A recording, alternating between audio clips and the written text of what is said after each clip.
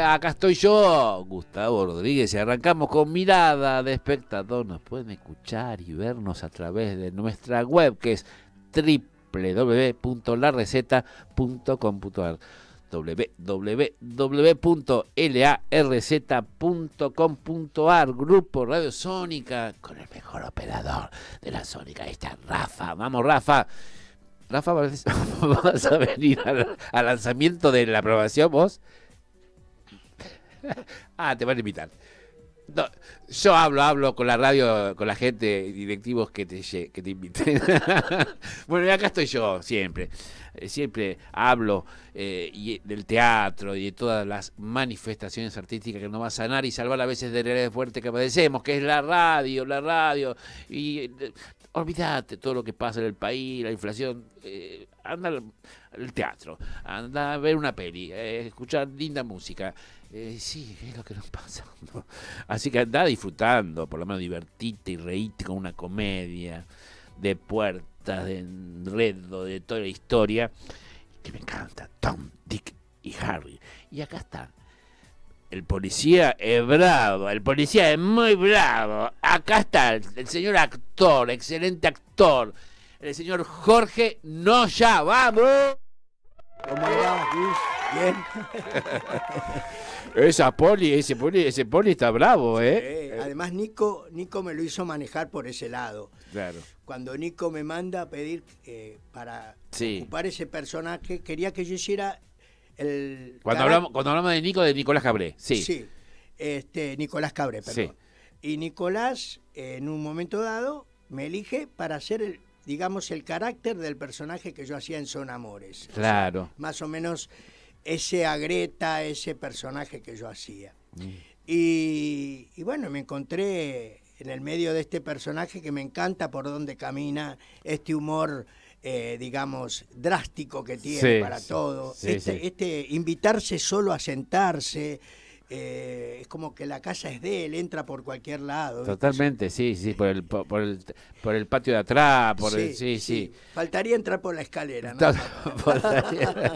sí, qué, qué vigilancia que hay. El policía entra como si nada. Es que, claro, claro. Sí, sí, está bueno, está, es una comedia. A mí me encanta. Sí, sí. Y te- para ser vodevil tiene que estar eh, muy perfecto hecho todo, ¿no? Claro. La entradas y salidas. Claro, totalmente. Es un reloj. Es un relojito. Es un reloj. Es un relojito con, con unos compañeros de aquello. Sí, ¿eh? claro, Sí, claro.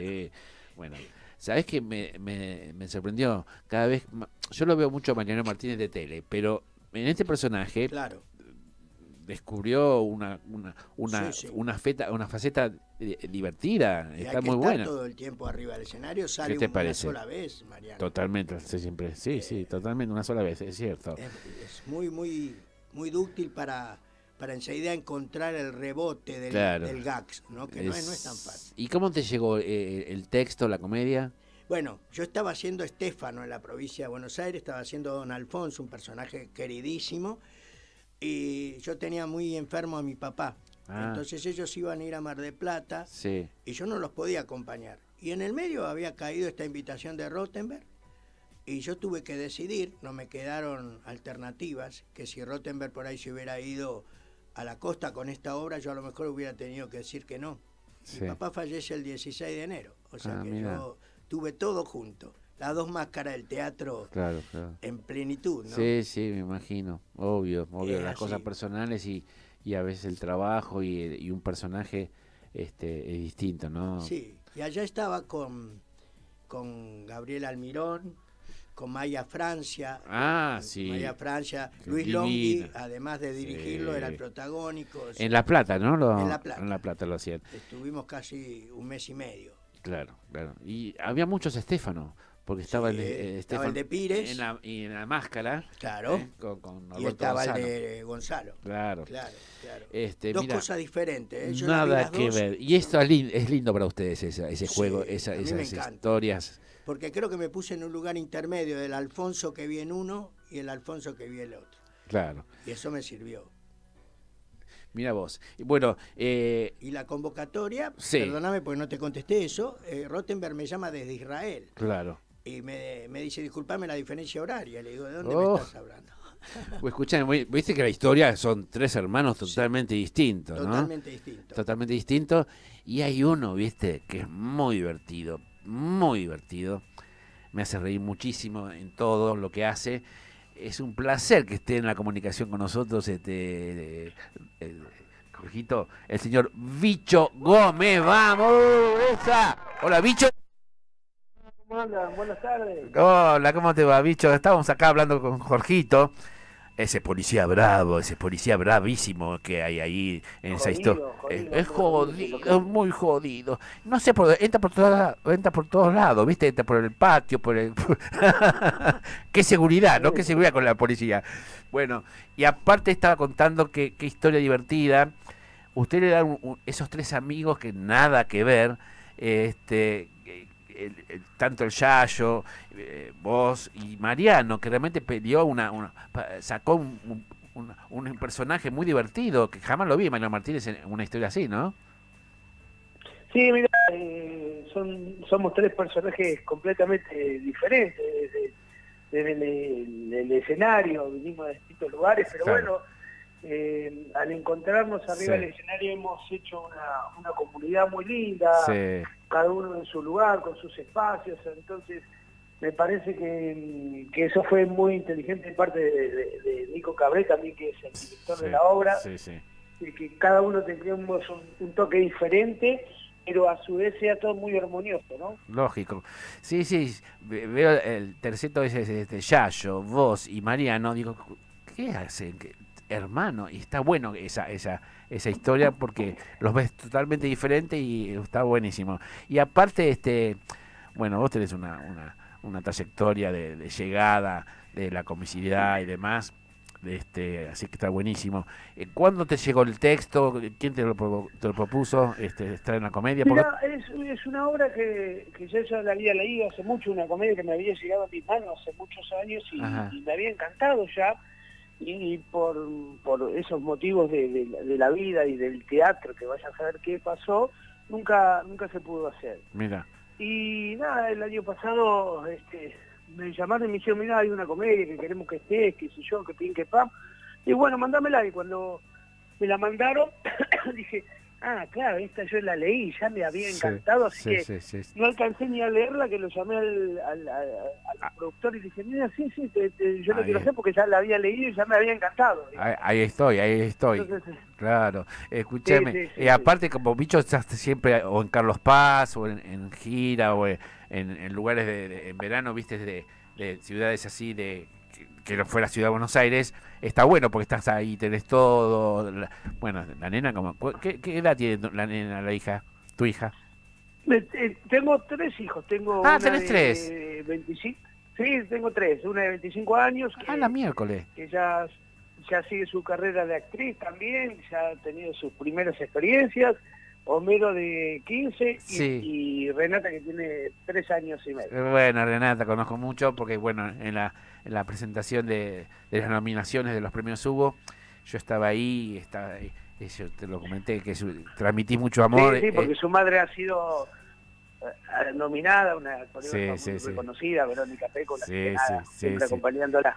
Exactamente, exactamente. Bueno, eh, bicho, este, y, y, siguen cuanto siguen con esta con esta comedia hermosa. Este, mira, hemos tenido la, la, la, suerte eh, de, que sea un éxito la comedia. Sí, totalmente. En estos momentos tan difíciles de la vida, ya llevamos tres meses de temporada, a sala llena, así que nada muy contentos y queremos que vamos a tener una, una larga vida con la comedia, así que queremos que sea así, y disfrutarla claro. y, pasarla bien, viste que cuando cuando hay un éxito es muy muy difícil tocarlo, entonces eh, nada, me parece que la comedia anda muy bien y todos estamos contentos en hacerla, así que me parece que, tenemos un, un, largo camino por, por recorrer con, con Tom, Dick y Harry. Mira, te quieren saludar un policía. ¿Cómo andás, bicho? ¿Qué haces, Jorgito? ¿Cómo andás? que yo le quería decir a Gustavo que también esta convocatoria nos reencuentra a varios que ya trabajamos juntos en su momento y que fue como una especie de gente que busca gente, ¿no? sí, fue un lindo reencuentro, la verdad, un, grato reencuentro con, con gente, viste que que esta profesión tiene esa cosa de que laburás y, después está mucho tiempo sin verte y después te volvés a reencontrar. Totalmente. motiva, así que ha sido muy, muy gratificante. Mira, chicos, ustedes lograron una armonía y eso se transmite en la butaca porque una comedia es un género, viste, difícil, porque a veces a veces estás divirtiendo, te reís, te reís y aparte estás pensando una cosa que nada que ver. Y realmente lograron una armonía y eso se ve en el escenario, porque es una en vodevil, entrada de puerta, que esto, que lo otro, eh, está buenísimo que hayan logrado eso. Pero además, Gustavo... Sí, mira, ah. es, es, una, es una comedia... Eh, que toca Rosa, el, Rosa no, toca el humor negro, algo claro. que me gusta, me es muy difícil de hacerlo también, viste que, que ese tipo de humor eh, te, produce una complicidad, totalmente, eh, una risa incómoda o una carcajada, y por suerte nosotros largamos, logramos la carcajada. Sí, sí. Ahora, yo, viste, eh, que, con qué crecimiento también como actor vos, porque realmente venís del circo, bueno, la última vez estuvimos en una entrevista telefónica que estabas haciendo en el Astros, creo que estabas ahí en Sin Carpa, este, y, y estás metiéndote en historia, porque eh, lo tuyo siempre fue el circo, ¿o no? Mira, lo mío es hacerme, hacer lo que me gusta y lo que me divierte. Exactamente. Yo he descubierto eso, que, exactamente. que tengo la posibilidad de, de hacer lo que me gusta, me divierte mucho, elijo hacer lo que, lo que me gusta hacer. Eh, claro he tenido un camino bastante largo en la profesión y sí, obvio se lo debo todo al circo porque el circo me ha dado un, backup muy lindo para, para hacer. Entonces eh, pude hacer espectáculos de revista, he hecho sí, musical, sí, totalmente. Eh, mi personal, eh, hago comedia. Sos muy completo, vos, bicho, sos muy completo. No, no, no sé si muy, muy completo o muy barato. bueno, bicho, sé que, sé que, sé que los sábados son doble función este y vos tenés muchas cosas que la familia y los nenes, que yo de la nena, así que gracias, eh, por lo menos tener una comunicación contigo y hablando de esta... No, es un, es, un, es un placer y vos siempre sos muy atento y muy generoso, así que nada, bueno. Este, siempre agradecido con, con, todo eso. Bicho, bueno, andate ahí con, con esos hermanos de la ficción, ahí dándole, dándole con todo, lustre, lustre al público, bueno, ahí hablo con, mi amiga querida. y no lo largues el tarde a Jorgito, ¿eh? Ah, Jorgito me va a, me saca, me saca, me, las esposas ya, ya me sacan las esposas. Ayúdame, bicho. bueno, gracias. Estuvo con nosotros el señor Bicho Gómez, vamos, aplausos. Eh, vamos, bicho. gracias. Bueno, qué lindo, qué lindo este, eso, ¿no? Que, sí, esta armonía que vos decís, eh, porque por ahí venimos de palos distintos. Y esto creo que Nico sacó lo mejor de cada uno. Claro. Y este es el mérito. De Mira, que no tiene tanta experiencia este Nico, ¿no? De la dirección. Pero trabajó con Halcón. Sí, Él sí, tiene sí. una experiencia eh, teatral que de para escuchar mí, y, observar, ¿no? Sí, sí, sí, sí, Y tiene a esa hija que lo está dando vuelta, ¿no? Realmente es como que es otro Nico con el que uno también se encuentra, un Nico que está más padre, más, más este como que sabe para dónde apunta lo que él quiere hacer, ¿me entiendes? Entonces es importante. Lógico. Che, este, ¿vamos a mencionar el equipo? Sí, cómo no. ¿Eh? Dale, por favor, te pido. ¿Cómo no? Bueno, en orden alfabético, alfabético para, para el prestigio, como digo.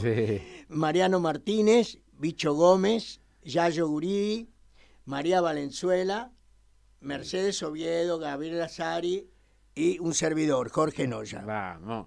Eh, bueno, están, ¿en qué teatro están? Estamos en el, en el multiteatro. Sí. Estamos los miércoles, los jueves, los viernes, los sábados dos funciones y los domingos. Buenísimo, buenísimo. Este, bueno, eh, lindo equipo. Eh, contá un poco, creo que me lo contaste en el momento, pero viste, uno dice que se renueva, se renueva. Este, escúchame. Eh, ¿Por qué sos actor? ¿Cómo fue? Eh, bueno, actor creo que...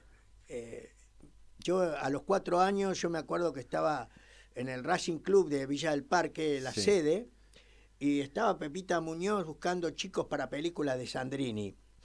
y bueno, mi mamá me llevaba al club a jugar al fútbol y otros deportes, y un día se abrió una escuelita de teatro. Mira Y Pepita andaba buscando gente y justo después, fíjate vos, el chico que acompañó a Sandrini fue Grillito. No sé si te acordás. de Sí, sí, Bueno, me acuerdo. O sea que mi- mis padres en ese momento no tiene, no tenían, este, no, no respetaron un poco cuál era la vocación de cada uno, porque yo estaba en el jardín de infantes. Y bueno, hoy veo que los padres acompañan mucho más, en Sí. algunos casos, a los hijos. Es ¿no? cierto, sí. Este, y bueno, después había que estudiar guitarra, inglés, estas cosas que te exigían antes, ¿no? ¿Y qué fue el primer papel? Te- y bueno, decidiste y te formaste con maestros, con... con...